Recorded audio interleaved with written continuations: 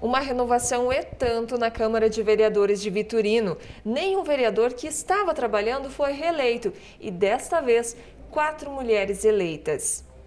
A Josiane Martarello, do PSL, fez 338 votos. A Ilane da Silva, do PRTB, 329. A Gilze Mafiolete, do PSL, 259 votos. A Vitória Folgaça, PSC, 148 votos. A Vitória tem 19 anos, é a vereadora mais nova eleita da história do município de Vitorino, que tem pouco mais de 6.500 habitantes. Eu, como sou nova, tenho 19 anos, entrar para a política é um grande passo, né? Para todos, para toda a população jovem.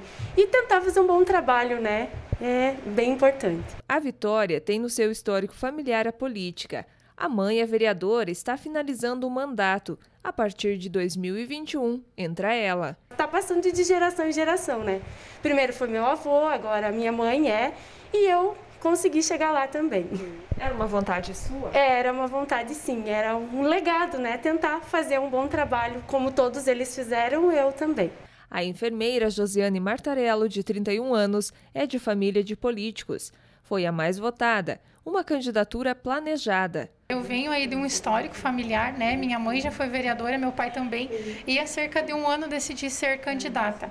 É, fiquei um pouco surpresa com a votação, não esperava, né, esse primeiro lugar, mas fico muito feliz, estou muito grata pelo apoio que recebi da população. A agricultora Gilze Mafiolete, 57 anos, era vereadora suplente. Desta vez, elegeu-se vereadora. A vida pública era um sonho. Eu gosto muito de política, né? Já, já tenho uma experiência e vamos lá, né? A gente tem que enfrentar esses desafios, né? Que, que nos, nos confiaram com os seus votos. Você me falava que era um sonho teu estar na política e agora sim, de verdade, realizada. Sim, realizada, muito realizada, né? E para fazer um bom trabalho. A agente funerária e vendedora Ilani da Silva, de 39 anos, colocou seu nome à disposição da comunidade, trabalhou e chegou à Casa de Leis. Para ela, foi uma surpresa ser eleita. Eu imaginava que eu não ia fazer toda essa votação, batendo porta em porta, porque eu sempre vendi porta em porta.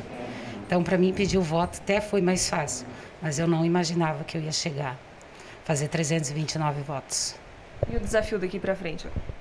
Aprender, tentar fazer alguma diferença, porque não sei nem como é, na verdade, mas eu quero muito aprender e quero também trabalhar muito pelo povo. Dia 1 de janeiro de 2021, 9 horas da manhã, acontecerá a cerimônia de abertura dos trabalhos do mandato 2021-2024, todas com o mesmo propósito: defender pautas de direito da população e ampliar a representatividade das mulheres. Além de nós pensarmos em projetos, pensarmos em somar junto, nós temos que pensar em fiscalizar, né? Então, com certeza é um desafio, uma responsabilidade grande, mas estamos aí para trabalhar junto, né, independente de partido, e para mostrar a força da mulher. Eu acho que hoje a mulher, ela pode estar aonde ela quiser, né? Então, nós somos prova disso.